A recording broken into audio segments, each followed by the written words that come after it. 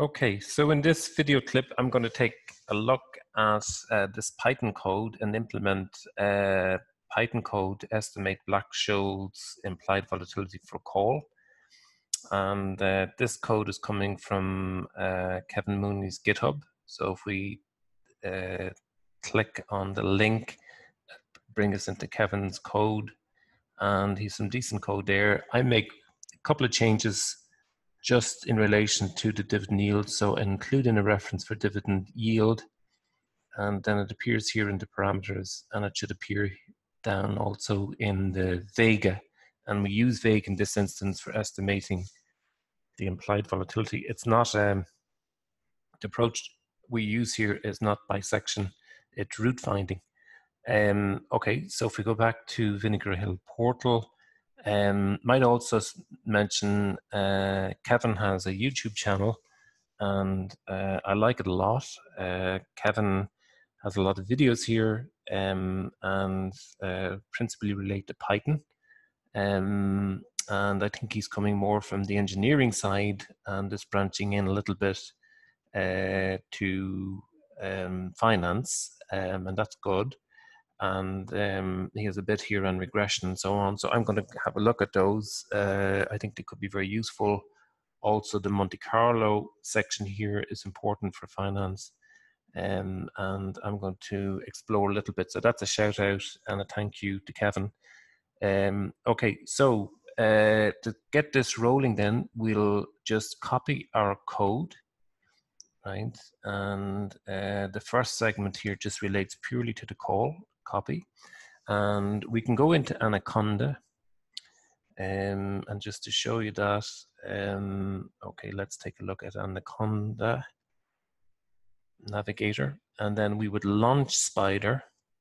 And that would then lead us into Spyder, which should open then, uh, should launch, and we have an instance of Spyder open, right? So I'm going to create a new file and we can just load in the code and um, just make sure that we have uh, that we're sharing Spyder.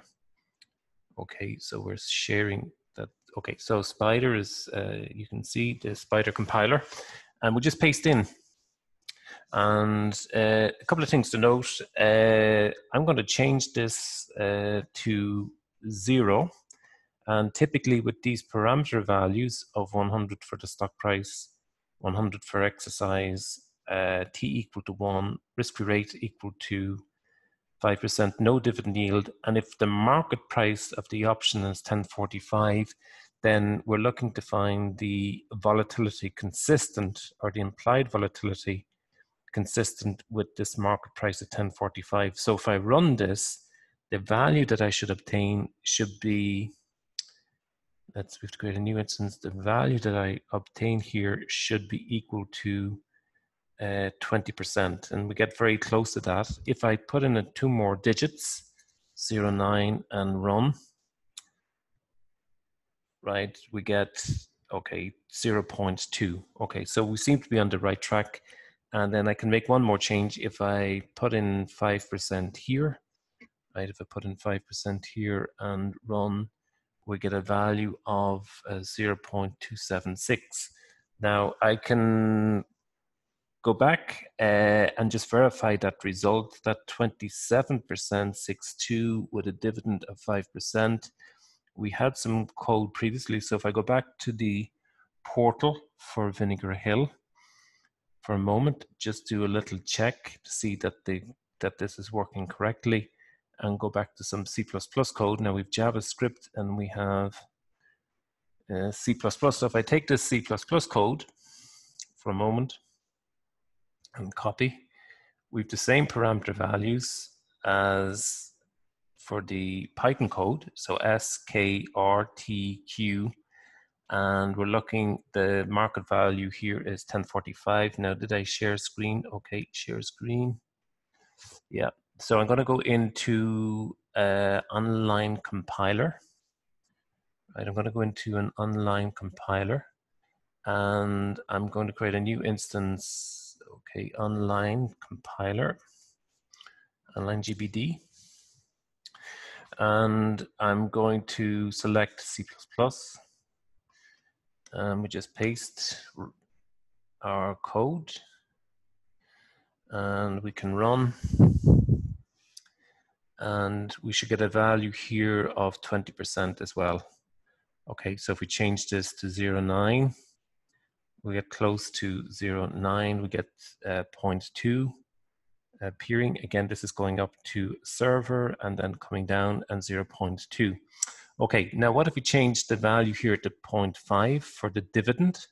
So S is the same as before, K is the same, R, T, Q is set to 5%. Do we get a, a, an implied volatility of 27%? Let's run and check. And again, a little bit of latency and we do 276273 276 and let's compare that to what we had for if we go back to um if we go back to uh, the Spyder for a moment and check. We have 27.6 okay so that looks fine. Okay i'm going to copy this uh, code uh, again. In fact what i'll do is i'll go back into go back to uh, the online compiler. And I'll go back to um, Vinegar Hill. And I'll take the code for um, the put option and we'll do a little bit more checking for the put option right and we'll just copy copy. This time it is the put option, no longer the call option. So we have a separate function for the put option, value of implied volatility for European put. Uh, we'll go into an online, the online compiler again, online GBD. And this instance, we will select Python. And I will paste that code in. And uh, we're going to use the value of 557 here. And uh, when we run this, the result we should get, this is for a put option, the result we should get here should be close to uh, 0.2, probably 0.19999 as before. Okay, and we get that result. Uh, okay, let's um, compare it then against the C++ code, uh, where we had before 100, 100, 5%, t is equal to 1. Uh, let's change this to 0. And let's change the uh, value of the put option. We have to keep in mind here, it's a put option. Change that p to uh, the up the, the uh, put call to an option and change the market price to 557 for the put. Now, if we run this, it should be 0.1999, which it is, and that's consistent what to what we had for the Python code 199. We do we could do a quick change, uh, update this to um, dividend to 5%, see what we get out in the Python code. Remember, this is the Python code 0146. Go back into the C++ code, change the dividend to 5 for the put option, still 557, the market price, run that. And remember, we should be getting a result, result close to 0.1469. 1469. So that the results are consistent for C++ and the Python code. Looks as if the Python code then is uh, relatively robust. And I'm happy that it is uh, working.